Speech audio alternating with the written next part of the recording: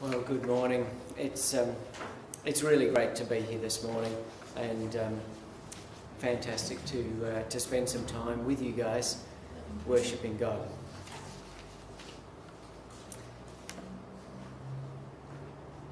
God longs for reconciliation.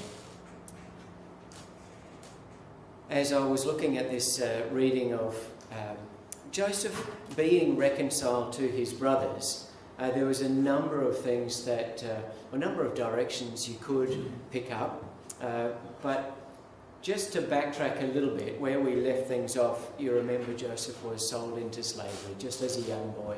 He grows up, and you probably remember uh, from your Sunday school days uh, the stories about how Joseph was, um, you know, put in charge of one of the, uh, the the captain of the guard's house, and that all went really well. And the captain of the guard um, was incredibly blessed because of everything that Joseph did. Uh, was blessed by God. So you know things were going great, um, but uh, he was such a charismatic and amazing person that uh, uh Potiphar's uh, wife decided that uh, she wanted to get in on some of uh, Joseph's blessing as well, and Joseph said, "That's we're not going there." Um, and um, so she uh, she accused him of doing something uh, inappropriate, and so Joseph got thrown into jail, even though he hadn't done anything. Um, and while he's in jail, uh, you remember there's the um, the the king's cook and the king's cupbearer, the bread maker and the cupbearer. Um, and um, they're thrown into jail for upsetting the king. And they're there with Joseph, and they both have these dreams about uh, what's going to happen, this uh, famine in the land, and different things that's going to, uh, going to happen. And, um, uh, and they have their, their dreams, and they wake up and say, Oh, you know, I've had this terrible dream. Joseph interprets them for uh, each of them. And exactly as Joseph interprets, comes true. Now, the I think it's the um, the bread maker uh, gets uh, a very messy end.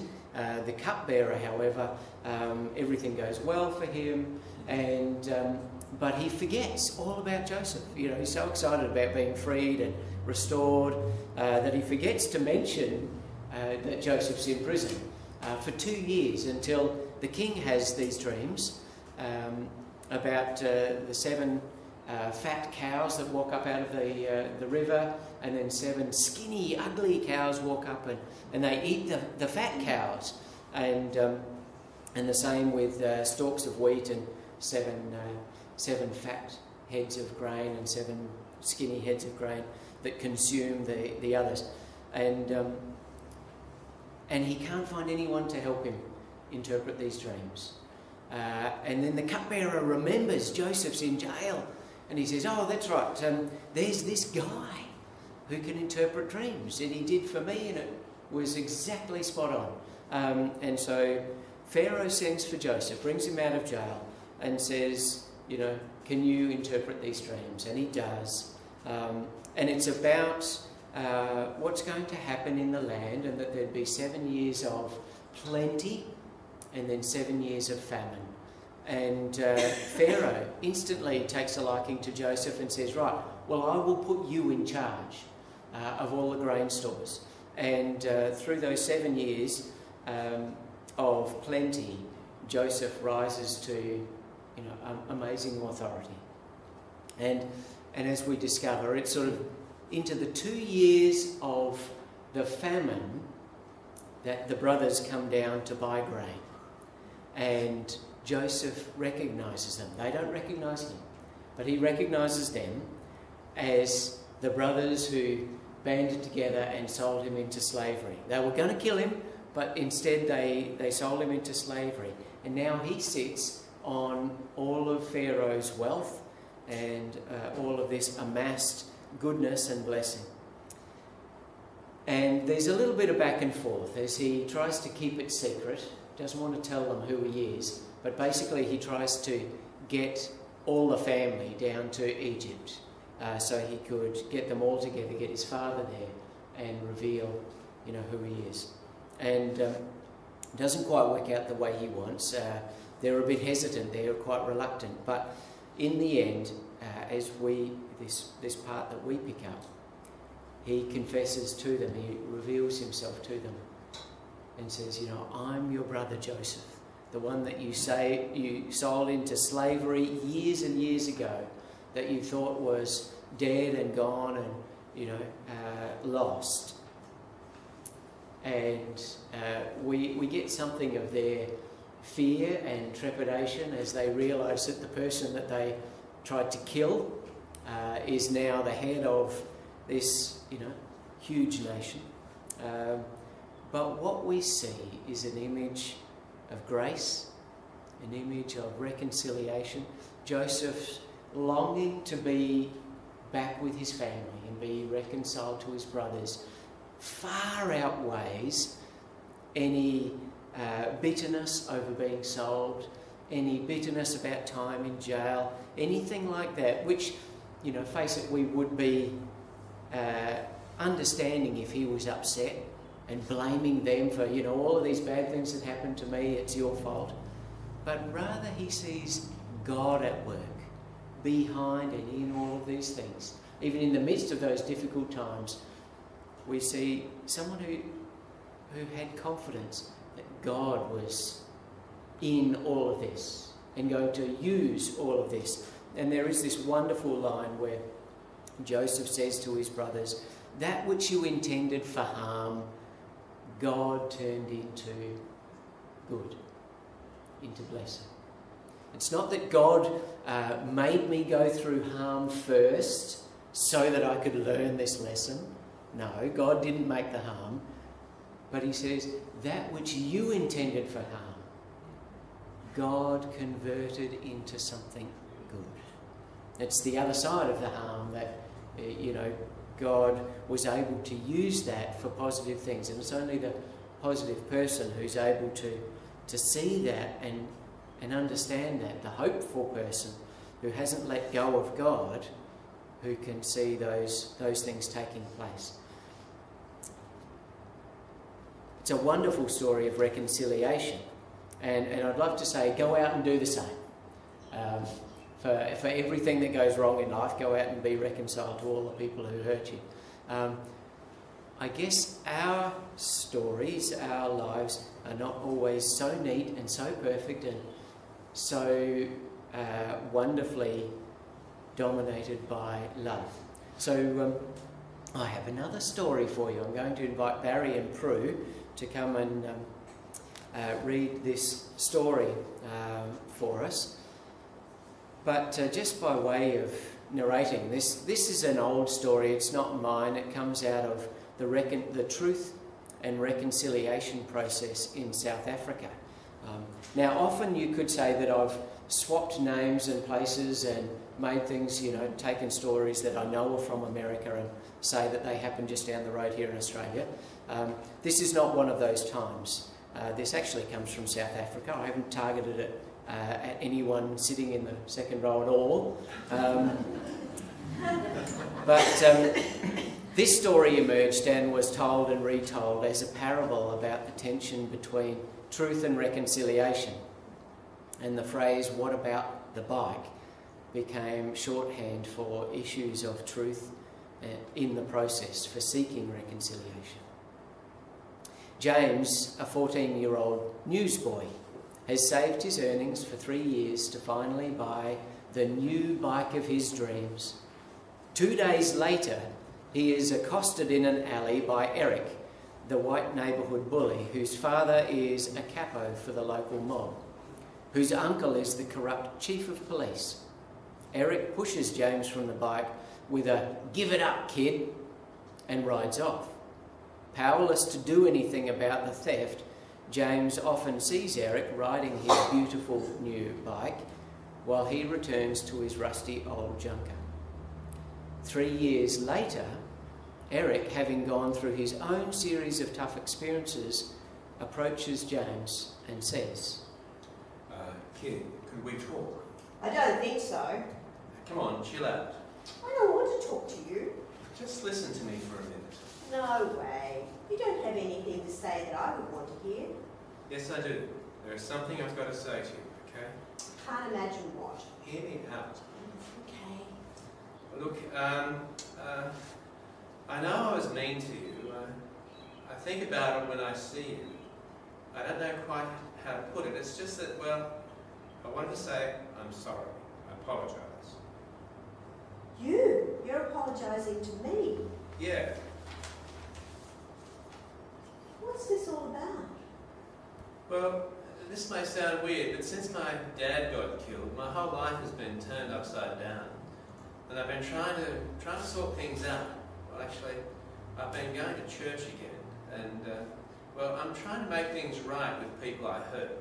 So I, I hurt you in any way. If I hurt you in any way, I want to ask your forgiveness. If you hurt me in any way, you say, Yeah, yeah. Will you will you forgive me? forgive you. You're asking me to forgive you. Yes. That sounds nice and all that. I mean, it may be good for you. But I have a question to ask you before we talk about all this forgive- forgiveness. Yeah. What about the bike? The bike? This isn't about the bike, it's about you and me. I don't have the bike anymore, it's long gone. Bikes. And they come and they go. This is about you and me. It's about us, you know, about relationship. And relationships. What relationship? That's why I've come to ask. I've, I've come to ask, will you forgive me? You think that that is all there is to it? You just say, I'm sorry, and say some nice stuff to make everything seem okay again? And then we forget about the past and act like nothing happened? Well, yes. I have just one thing to say. Yes. What about the bike?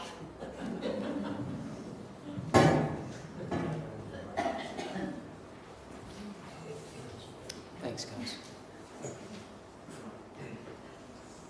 Reconciliation. What about the bike? It pushes us to think about reconciliation and forgiveness. Now, that little story, that little drama enacted for us. I want you to just sit and think for a moment what should it like? What should it look like? Sorry, for uh, for young James and Eric. What should go on? Just take a moment to think about the ideal scenario from there going forward. What the, the bully, uh, James, uh, no, the bully is Eric, uh, and James, uh, the victim, what should happen? It's a nice, simple story. If we could answer the simple one, maybe we could apply it to the more complex things that go on in our life. Maybe turn to um, just the person next to you and um, share your thoughts quickly on what reconciliation, genuine reconciliation, would have to involve or what it would look like for those two boys. Just one minute.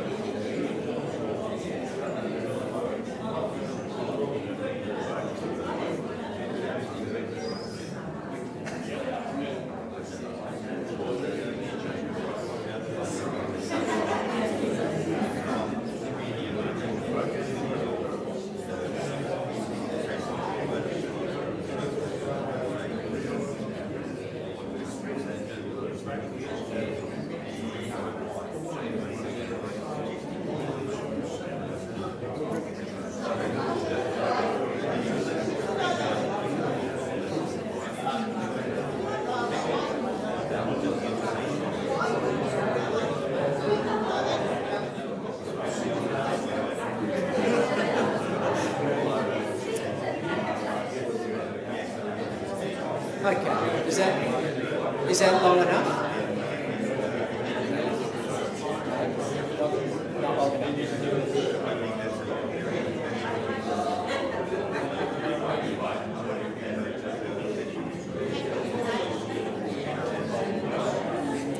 Okay, can I draw you back, um, draw your attention back here for a moment?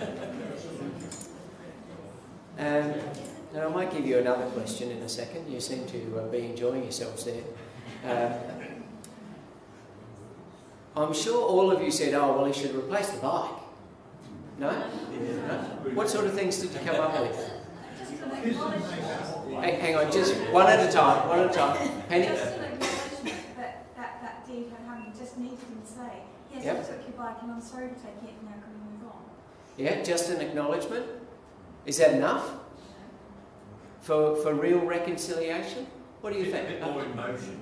Sorry? A bit more emotion from the one that uh, Okay, took what, yeah, it didn't seem like he was sorry. okay, there's something missing there, yeah? As it Any- Yeah, Jodie? I think taking full ownership of the, not only that you've taken the bike, but what that meant to the other person. Yeah, yeah, yeah, yeah. yeah. So it's an understanding, Yeah. uh, not just, oh, I stole your bike and I'm sorry, but an understanding of the impact of what that actually meant, yeah? Show me the money.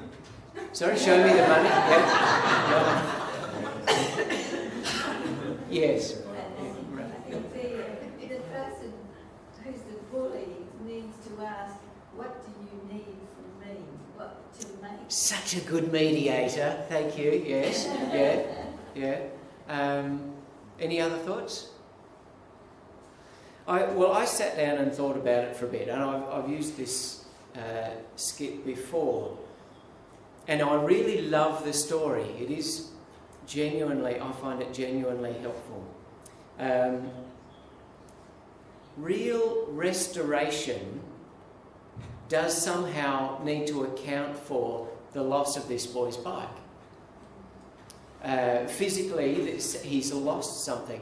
And you could say, yes, just acknowledge it. Uh, but the ideal scenario would, that, would be that that was somehow uh, replaced or covered, maybe with money.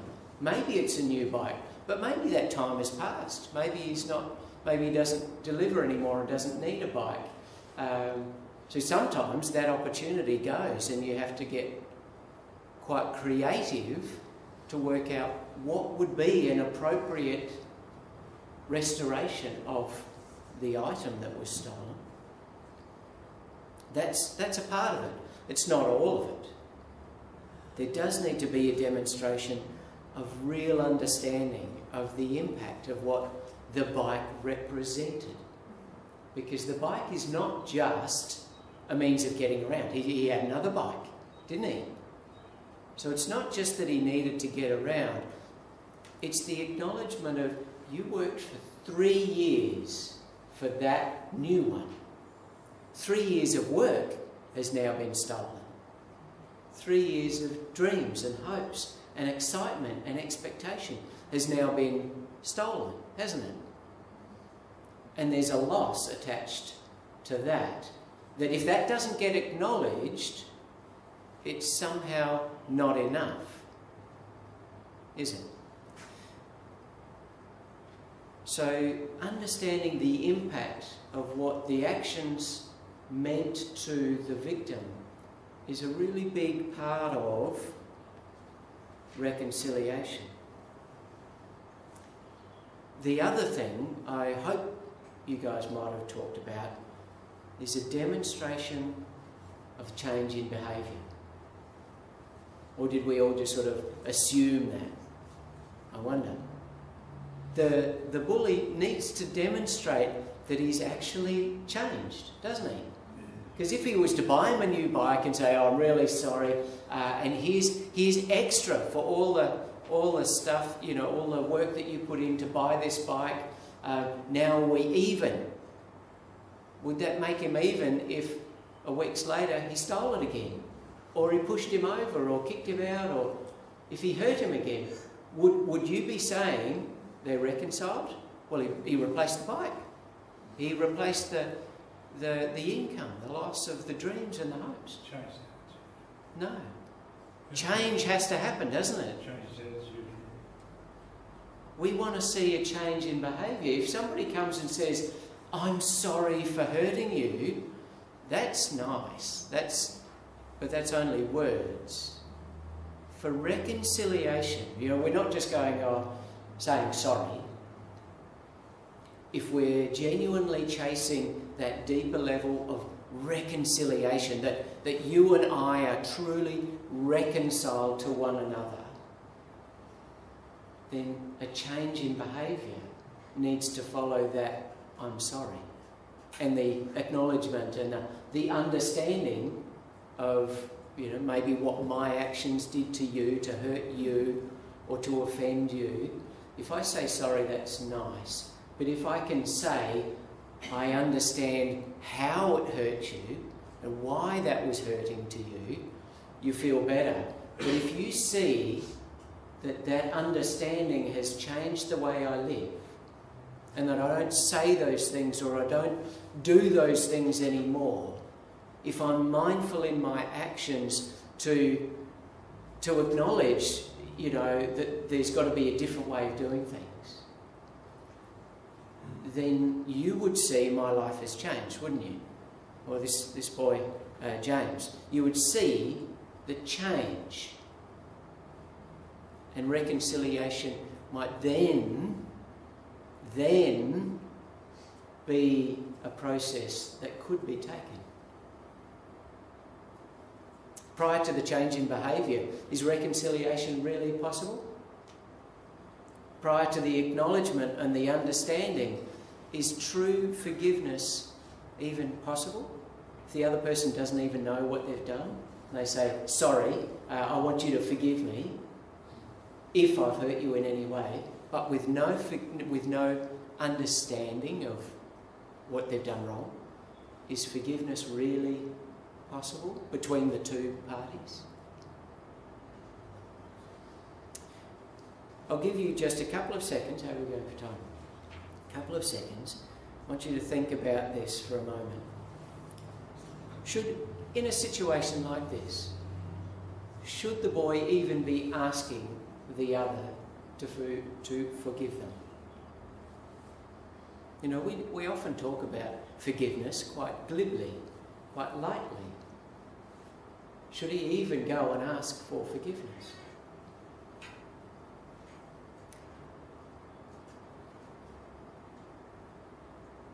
Would it not be more appropriate to ask for mercy, to ask for another chance, with the hope that if you gave me another chance, then I could prove to you that I've changed.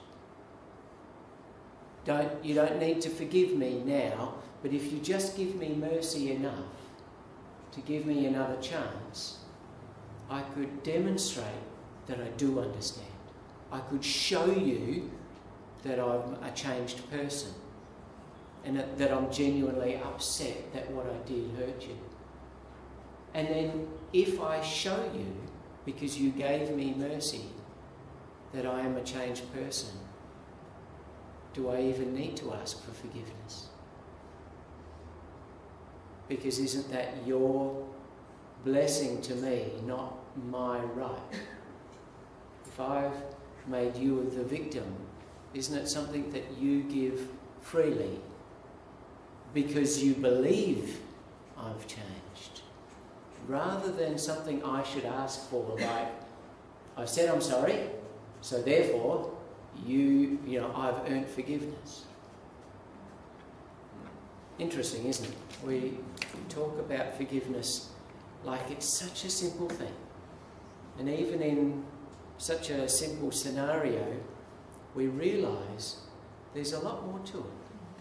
There's a lot going on in that process of truth and reconciliation and of forgiveness if we're talking about real forgiveness. What about the bike? It's a really valuable question for me in my life when I'm the victim because it reminds me that forgiveness is not about being a doormat. Nowhere in the Bible, nowhere does God call me to just forgive people who hurt me willy nilly and to forgive everybody who hurts me and allow them to just keep doing it. Nowhere does God want that kind of reconciliation that means I'm a doormat, that my feelings, that my hurts don't mean anything that they're not important. Because forgiveness and reconciliation is not that. God does not call you to be a doormat when people hurt you. God does not say reconciliation means taking the things that were really important to you, that were really significant in your life, and if someone steals them or breaks them or disrespects them, that you should just pretend they mean nothing and put them to one side. God is not saying that. That reconciliation is more important than you. That's not good news for anybody. Reconciliation, for me, when I'm the victim, requires genuine understanding with the other person. That they need to understand what and why something hurt. But as I said, it's not always possible.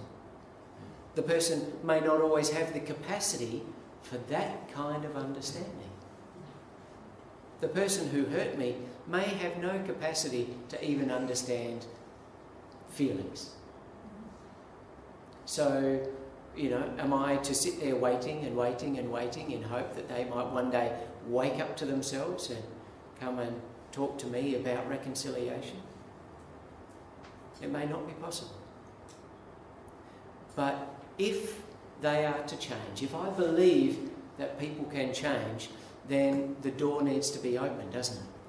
From my side. If I'm the victim, I need to keep a door open that one day they might change, that one day their actions might show that they understand and that they've learned and that they've changed their ways of being. Maybe I could trust them again. Maybe I could be vulnerable to them again. But only if that door remains open. If I close the door, if I burn that bridge and say I'm never going to have anything to do with that person ever again because they hurt me that one time, how will I ever know if their side of reconciliation is happening? If God has done something miraculous in their life, I won't know if my eyes are closed. So the story is good news for me if I'm a victim. It's also really valuable and good news for me if I'm the one hurting someone else. If I do damage to people in life, which I'm sad to say I do, and you know you're the same. We hurt people without even trying. Sometimes we don't even know it, but we do nonetheless hurt people with our words or with our actions. And uh, just as Jody was saying in, in uh, Linda's introduction, sometimes our words can be like a tube of toothpaste that you squeeze out and out and out and out and out till the whole thing's empty and on the plate. And then you think, oh goodness, that's too much. How do I get it back in the tube? Sometimes in our life, we get ourselves covered in toothpaste, don't we?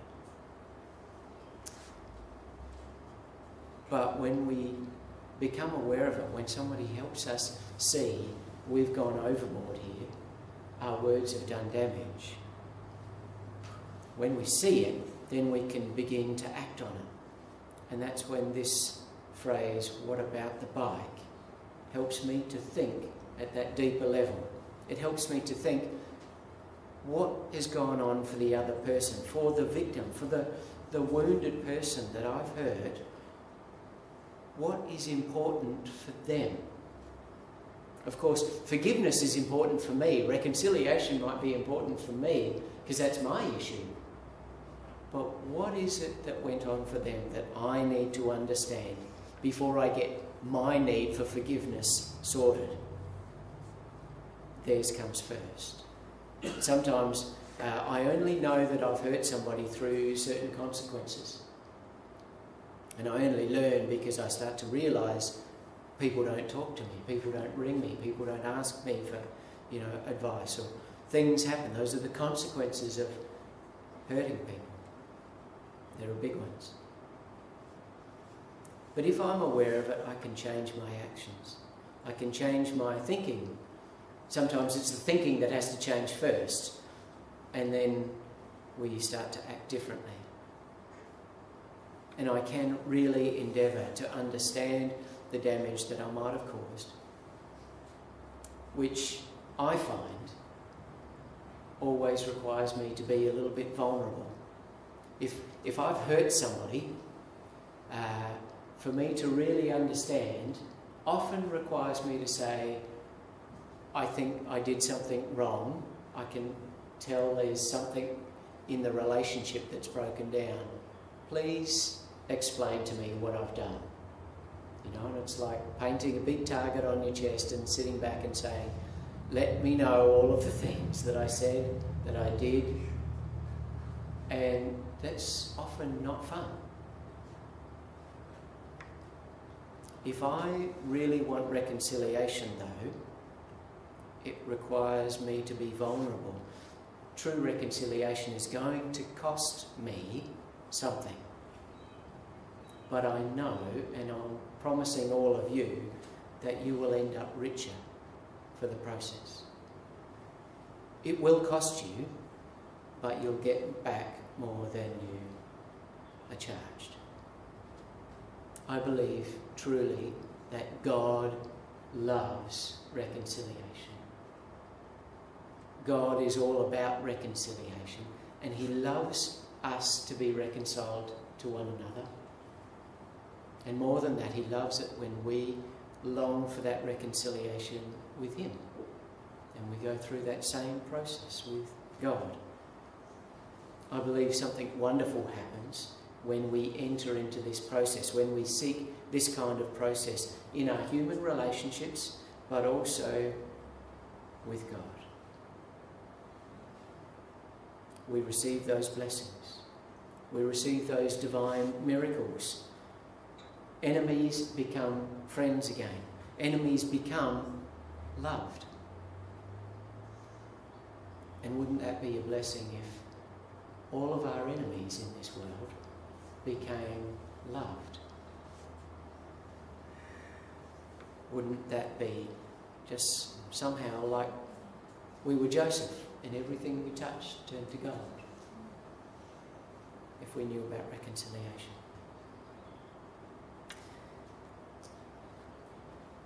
Loving Lord God, we ask that you would continue to teach us about grace and mercy and reconciliation and forgiveness. And that as we work these things out with you, that your Spirit would open our eyes and our hearts and our minds. And even as we make ourselves vulnerable in the process, that somewhere in the midst of it, we would notice that we gain love, that we gain loved ones back to us, friends, family members, neighbours, those who are completely different and other from us, that we would begin to gain them as beloved friends. Lord God, may this be your blessing to us in the coming days. We're going to finish with our final song. They'll know we are Christians by our love. Oh, and we're going to take up the offering just as we went.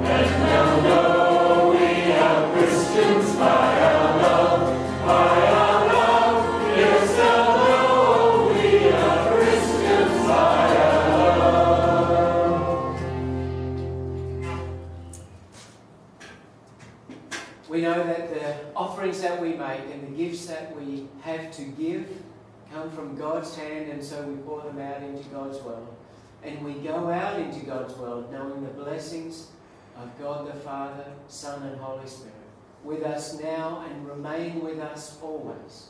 Amen.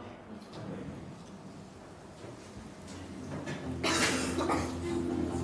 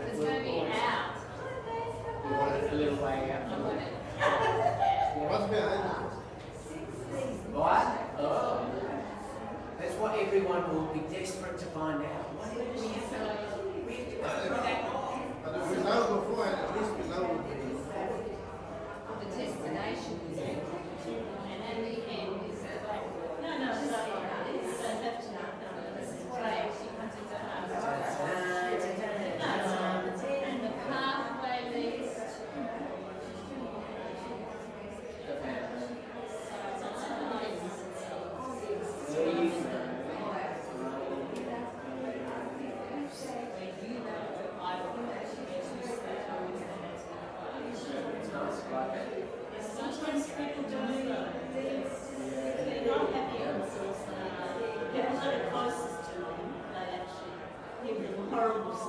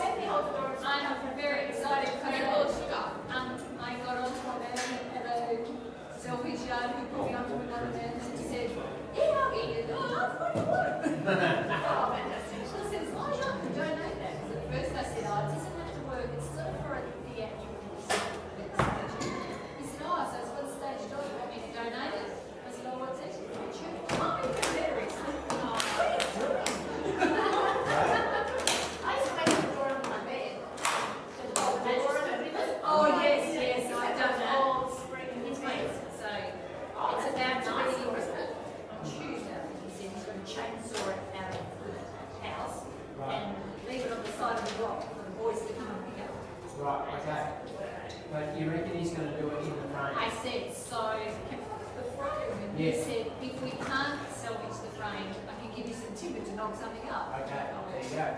Good. All right, no problem. I've got a preacher with a hammer.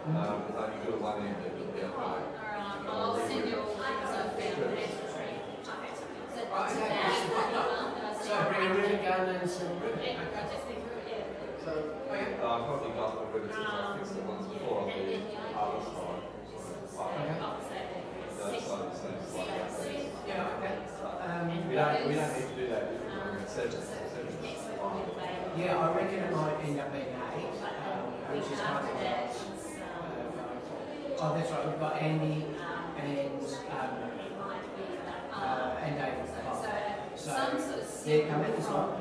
Um, but yeah, so it's people like Johan, Justin, uh, Rian, um, Ruan, uh, all those kind of guys that um, haven't heard from yet. So yeah, it's.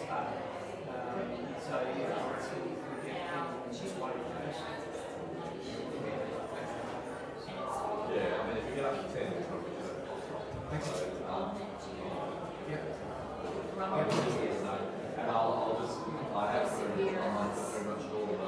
Brian's going to do a Saturday morning mindfulness. Um, so yeah, which I think, yeah, job done. Well, I thought you could do the the ice breaking stuff Friday night, um, and then if Brian does a mindfulness thing, then um, we'll have the rest of the day to be mindful and.